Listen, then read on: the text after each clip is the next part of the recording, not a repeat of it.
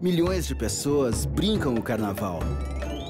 No Brasil, 260 mil sabem que têm HIV e não se tratam. E estima-se que 112 mil têm o vírus e nem sabem. E você? No carnaval, use camisinha e viva essa grande festa! Previna-se da AIDS e, se preciso, faça o teste de HIV.